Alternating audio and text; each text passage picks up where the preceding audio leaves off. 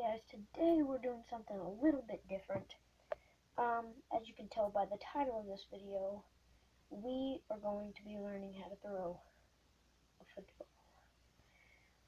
Now, I just picked up this football yesterday at Walmart, and it's a Wilson NFL.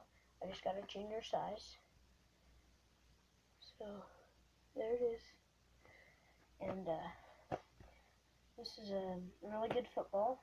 If you buy it at Walmart, it comes with the football fully inflated already.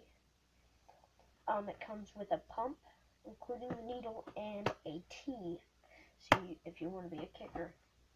So, I've never played football, like I've played it. I've never played on a team, but I want to. So, let's head outside and I'll show you how to throw one of these things.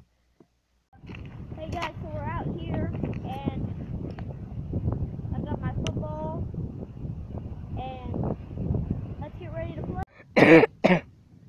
okay, so you want to have your feet spread about shoulder width apart and you want to have your knees bent a little bit and you want to hold the football close to your chest, keeping your arms down and then slowly you want to turn your left foot forward the direction you, you want to throw. And you want to bring your guy hand back along with your throwing hand. And you want to turn in momentum, push off of your right leg, making a 90 degree, pretty 90 degrees, and release. And you want to release. Like, so you want to act like you're shooting a basketball, but your hand was turned. So it looks like this.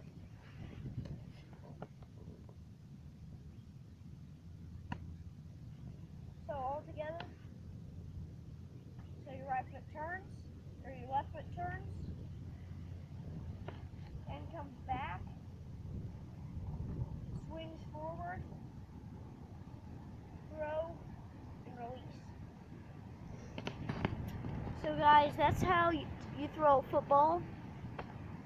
And I hope you guys enjoyed this video.